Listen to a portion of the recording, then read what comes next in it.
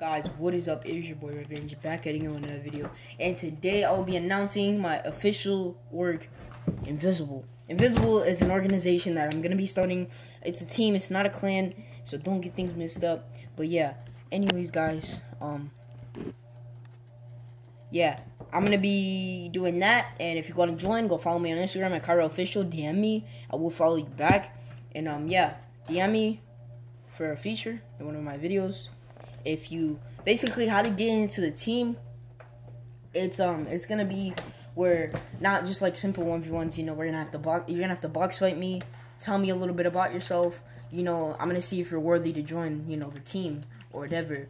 Um obviously i'm very i'm not that hard to beat in a 1v1 but i will be i will be the ceo of the clan i will be the owner of the clan but i'm gonna be picking a leader so if you follow me and you're a crack player and you want to be in a um, team, you'll be the leader. You know, you'll just be the person that basically, you know, works with me, talks to me, and says, "Hey, I think this person is worthy of joining. If I don't think he's worthy, then he can't join. If I, if he thinks he's worthy, if we both think he's worthy, then we can join.